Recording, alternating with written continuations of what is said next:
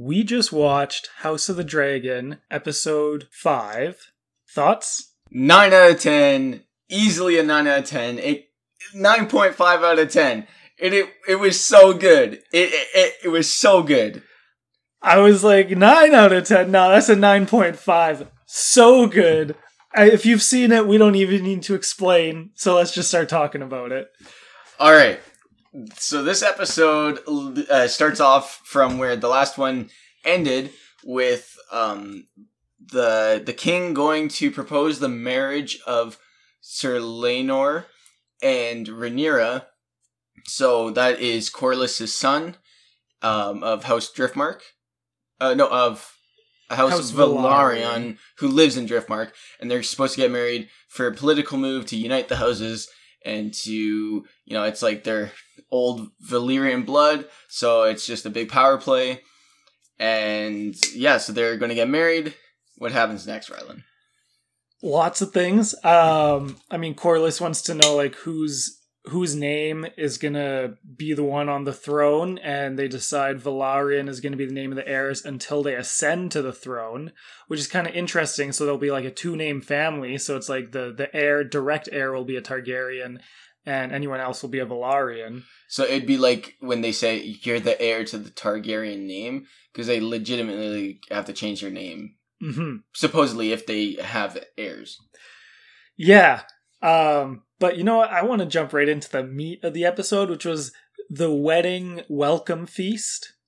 There's so much scheming that went on between just all these different characters, all these like alliances being formed without anything being said. It was just like it was mostly subtle, except for for there's one part where they mention, oh, like uh, Queen Alicent shows up in green, um, in a super huge power play where she wasn't um at the table, and then uh, Viserys is making his speech, and she shows up to like make a statement of the Queen is here. And you know, like I kind of, she kind of does what she wants, right? Like she's in, like in control of herself. yeah, it's like I'm the queen, and until anyone says otherwise, I'm in control of what I get to do. And when I show up, I show up. Yeah. and she shows up in green and there's a brief conversation between two members of old town or they uh, House Hightower from Old Town. yeah they discuss oh you do you know what uh, the green symbolize or what the colors of war are in old town Green. so then immediately like once you know that's said or if you just picked up on the subtle cues of something is up Mhm. um yeah that kicks off a huge kerfuffle at the wedding because and it's like there's a lot of tension in this scene because everyone who knows what's happening with the queen and you know her intentions are just they're staring and they're just waiting for that to kick off. And the the conversation between Alicent and her uncle is like oh man That's where I was like, oh my god, That's it's when- about yeah, to pop off." I think I mentioned to you earlier in the episode. I'm like, are they starting to like set up? This was before like the she showed up to the wedding. Like early in the so episode, for they started context, to. um, Austin, you don't know anything about how the plot's gonna go. No, I haven't looked up anything. I haven't read any of the books uh, or any of the um, Fire and Blood book. I don't know anything about that.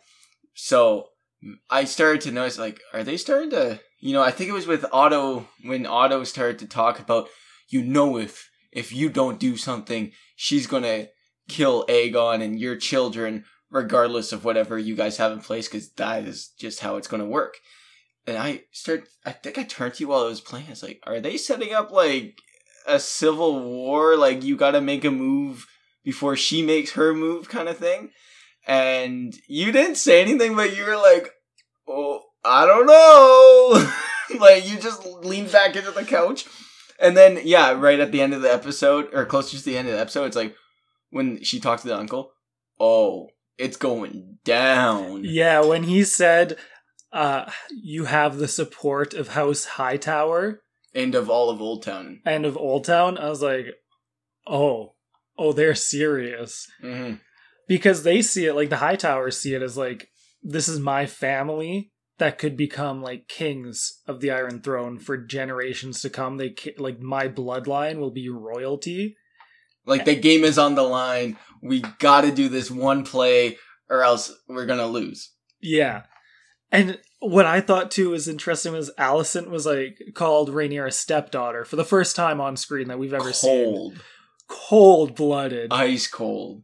and what I noticed too is she stopped picking at her fingers. So she's obviously like Anxiety, nervous and anxious, but like she's in control now. Whereas before she was not in control. And now she's like, I'm making these choices myself. And it's like, oh. But then the biggest choice that was made was by Criston Cole. Okay, I want to stop right there because there's a lot of moving parts at the wedding. Okay, and I, and I kind of yeah. want to go back to the beginning of the episode because there's like three distinct things that happened. This four distinct things that are happening this episode. Okay, with with the characters, we have Daemon killing his lady wife. in a brutal way. Just I thought that was so like it's not the most brutal we've Uh, seen. Yeah, I'm. I'm gotta say, I'm like, I'm glad they didn't show it, like that they alluded to it Yeah. rather than showing it on screen. Because that was like brains bashed in brutal. Yeah. So yeah, he makes his move and rids himself of his lady wife. Um, so we got Daemon doing that. Then we got the king's story with like his family, where Rhaenyra is going to be wed. However, he is deathly sick at this point. All of the infection and everything from that Iron Throne is killing him.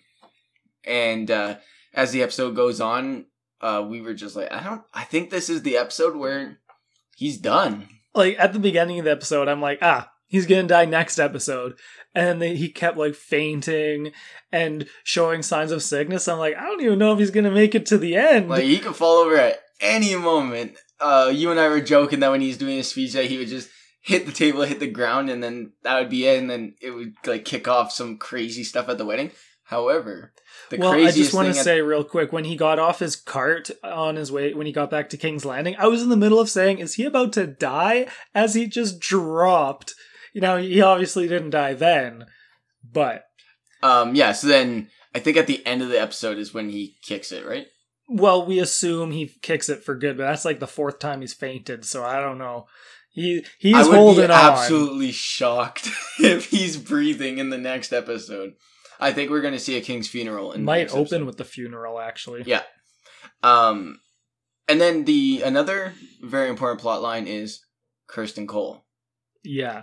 So, as uh, Rhaenyra and her cousin Laenor um, are you know becoming acquainted, um, it comes out that Laenor is gay, and that you know he's fine with the marriage in general, but the the aspect of having to like be with Rhaenyra, um, he's like, well, how's that going to work? Like, so they make an agreement.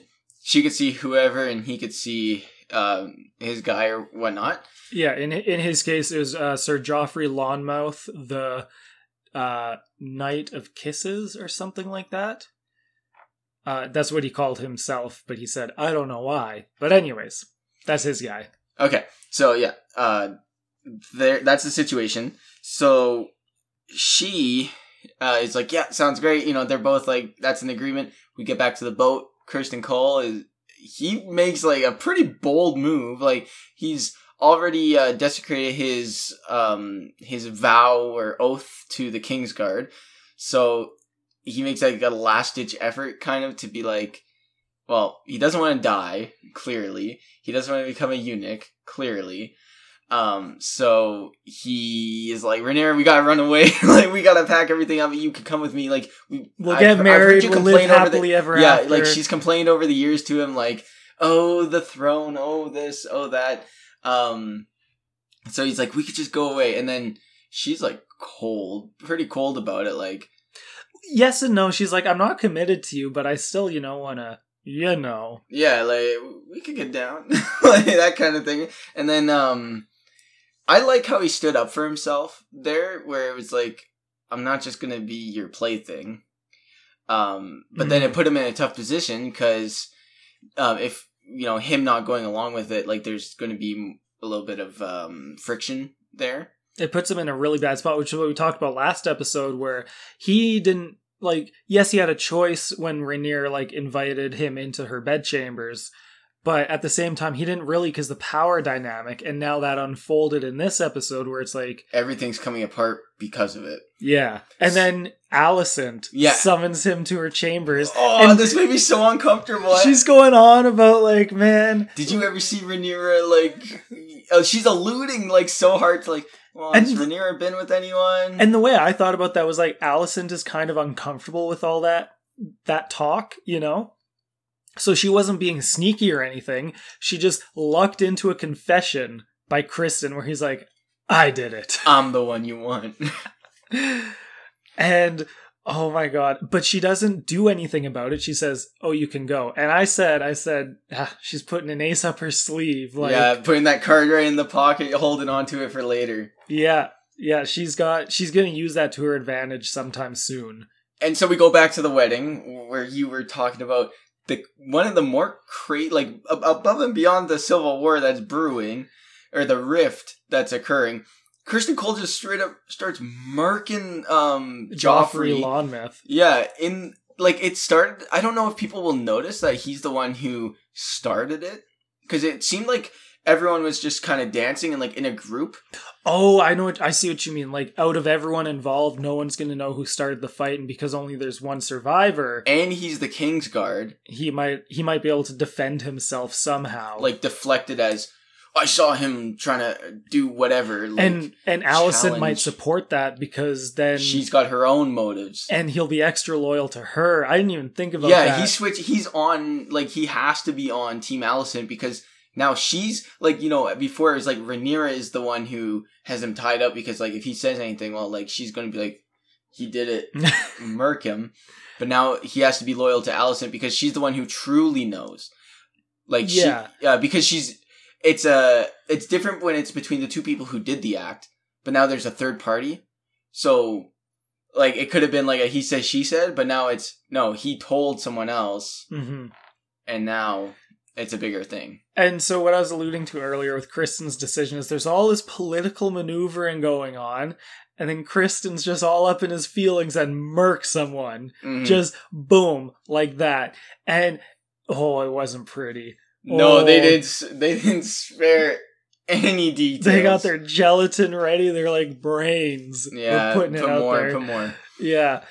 And uh shout out to I don't know his first name, but Lyonel Strong's little henchman that he sends in there to save Rhaenyra. The Oh, guy who the puts Rhaenyra nod, yeah. on his shoulder. He just goes in there and starts busting heads. Guy had a mission. Yeah. Dude, dude's like he, he's a fighter, man. I respect to that guy. So my initial thoughts before you pointed out like what was going on because at I was still having like thinking about the Civil War aspect when the hand of the king nodded to him. I, I thought maybe it was like the hand of the king was conspiring to like uh usurp someone.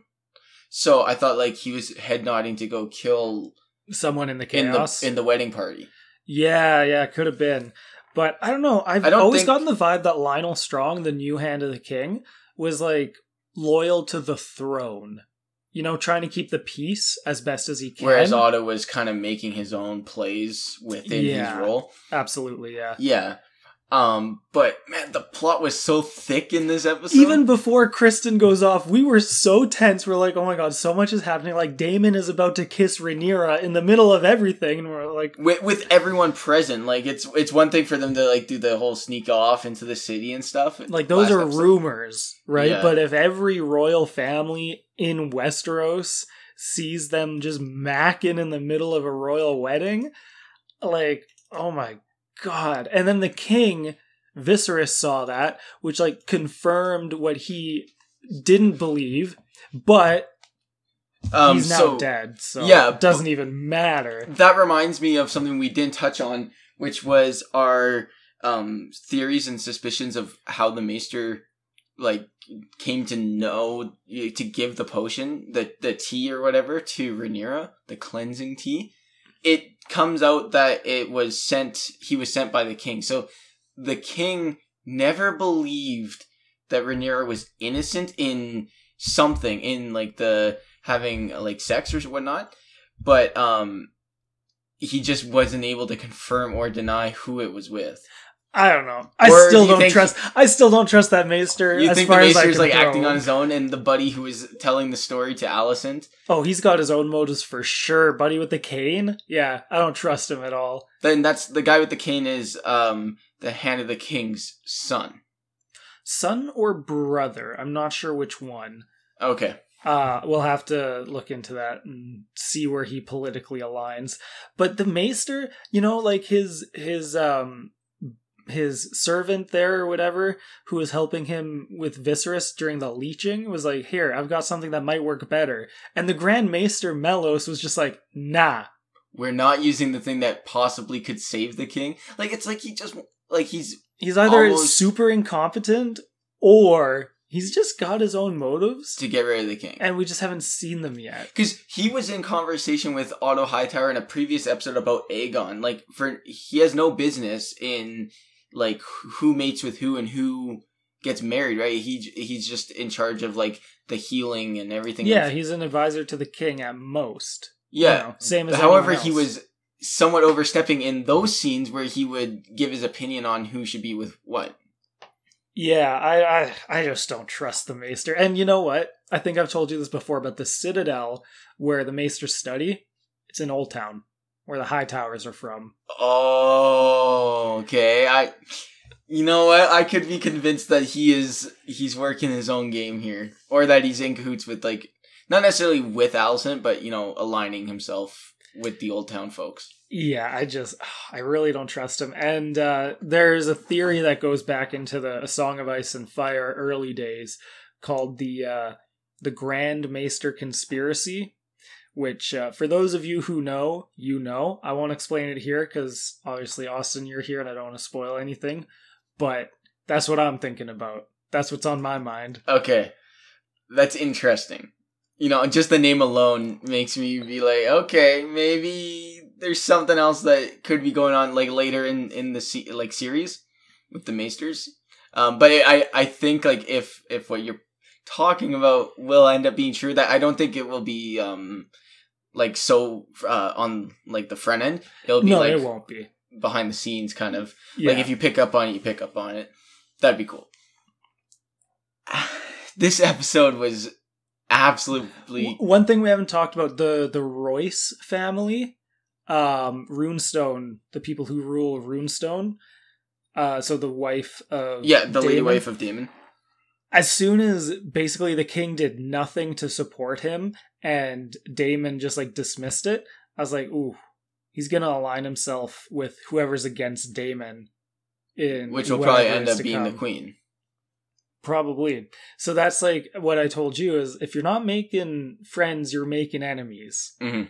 And that's what just happened there. So it's like Daemon's just being Daemon, but he might have made a mistake there. Or the king might have made a mistake. Because, you know, the king was talking about when he was like mid death with the leeches. He was like, well, they sing songs about me. And then Lyonel Strong was saying, you know, you lived in a time of peace and that's a good thing. But it was his reign that is leading to all this madness. Like he's letting this stuff happen. And because he's not strong enough as a ruler, he's just he's leaving a legacy of like destruction behind him. Yeah, in division. Absolutely, yeah. So it's like, oh, I'm excited for the next episode. Like there's so much that happened and that wedding scene was just madness. Absolute madness with the scheming and everything. Like oh. Oh, I just yeah, and then the very end, Criston's about to commit seppuku or whatever you call. it. He's about to just off himself, and then in the Alicent, Godswood, yeah. yeah, Alicent is like, nah, nah, you owe me something. We got work to do. It's like an to. Avengers moment. like if Nick Fury shows up, we got work to do. that is straight up Nick Fury at the end. There. yeah. Oh my goodness. So yeah, Criston's gonna be important in the next few episodes. How long do you think he survives? Because I hope he makes it through the the show because I was No I way. ho- I just hope so. I like I like him. I like him. He's messed up. He's made mistakes. People can come back from that. Um, everyone he deserves a murdered someone at a wedding. A second chance. Um, but I just think like he rounds out the like the cast. Like it rounds it out. Um, you know, he doesn't emote a lot, but when he did this episode, it was like, oh man, like, like it's just I don't There's know. depth to his character. We watched Rings of Power and then we watched this, right? And not to compare them too much, but to compare them, but it's like when you watch one show that's average to bad and you watch a show that's really good with everyone like on point with the acting, it's like it just stands out. It makes you go like, wow, like specifically the scene on the boat. yeah, where he's when- like close to tears and he's like like I soiled my name, like my legacy is ruined, you know, I got no honor. And then Rainier is like, "Yeah, and I'm not going to help you."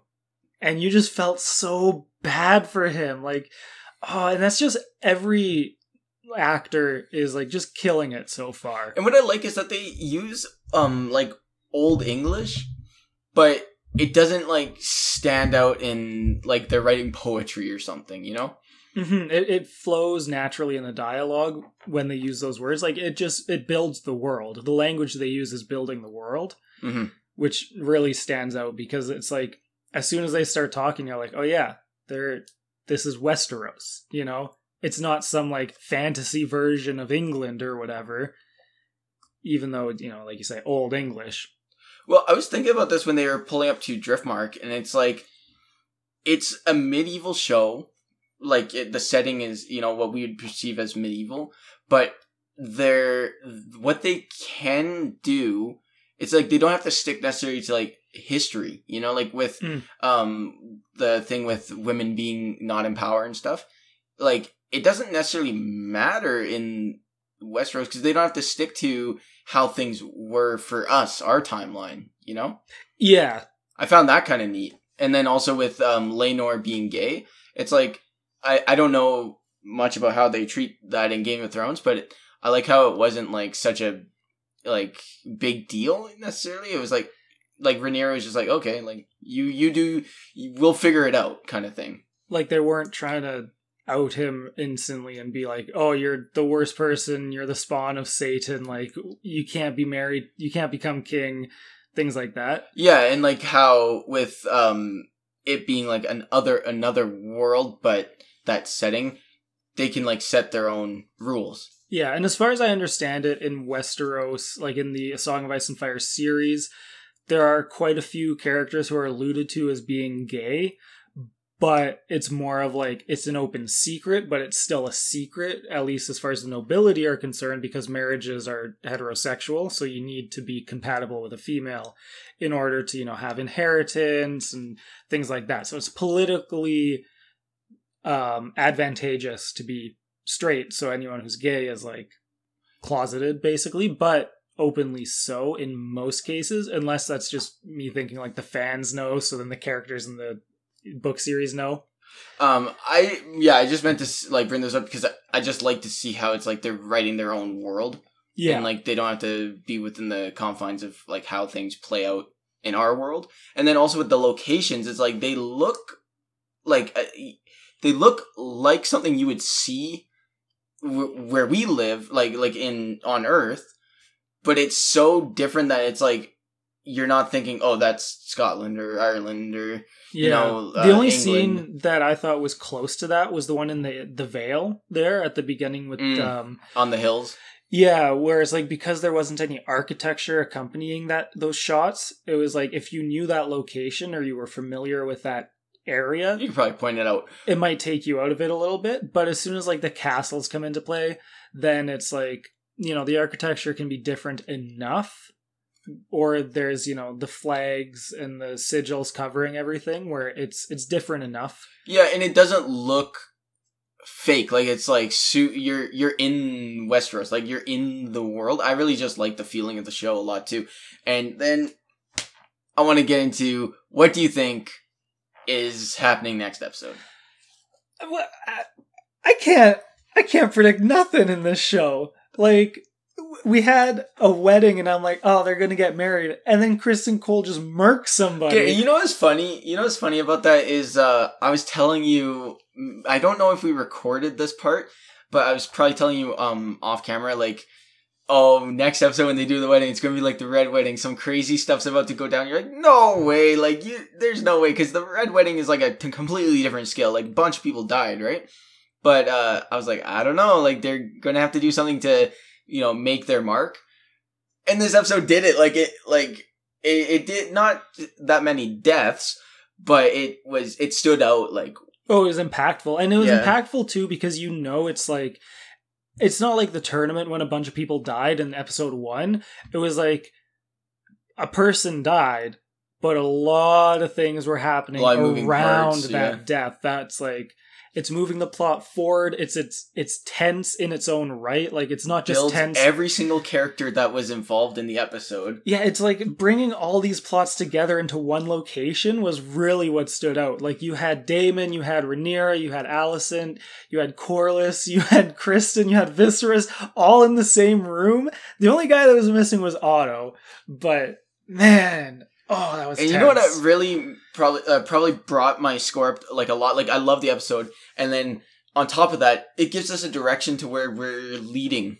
You know, whereas like a lot, of, um, some of the first episodes are like to set up the characters and like what they their motivations are for why they act a certain way. But this one is like this is the grand scheme of everything. Yeah, like the first And this couple is where we're episodes, they were setting things up. We gave them like eights out of tens, but this one we like we stood up out of our chairs, like we were like, oh, Hands on our heads, like, my are you seeing this? God. Yeah, so I, I like the direction that they're going.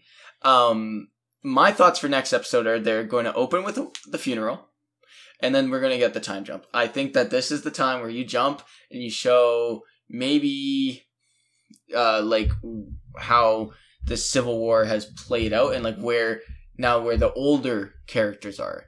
So I don't think there's going to be any open war though. No, no, no. But you think politically they'll be still aligning themselves? Yeah, like maybe Rhaenyra and, and factions. are, are on Driftmark, or they're on Dragonstone, right? And we get two Well, no, they would separate be- locations. they would be in King's Landing, right? Because she's going to be if Heir- it opens with the oh. funeral, she's heir, so she's got to be ruling. So where does that put Alicent? Is my question. I Because she distanced herself from Rhaenyra this episode, especially when she said stepdaughter. yeah. So what happens to the queen when the heir is the princess? I don't know. Maybe she goes back to Old Town and is gathering That's where she strength. start. Oh, I would love to see Old Town, by the way. I know they showed it a bit in the Game of Thrones series, but I think that's one of the cooler locations in the books that we haven't seen too much of. And uh, I look forward. Hopefully, they show All us right. some. So the Town. official, just our thoughts prediction for the next episode is King's funeral, coronation, I think, is going to follow it. coronation, time jump, Alicent Old Town, Rhaenyra, King's Landing, where have the pieces fallen? Yes. And a lot of stuff happening in between. Lots of scheming, lots of plots, lots of uh, people with their own motivations. Everything we love about it. And of course, a couple of dragons thrown in there for good measure. Man, I, I can't believe it's seven days away. I'm like, I'm ready to watch it right now. All right, so these are just our thoughts on House of the Dragon season one, episode five. If you have anything you would like to add or discuss with us, leave a comment. We'll bring it up in the next discussion. Um, if you like the video, give us a like, and if you want to see more, give it uh, hit the subscribe button, and we will you know keep talking about the show. We got other videos on the way, so stay tuned.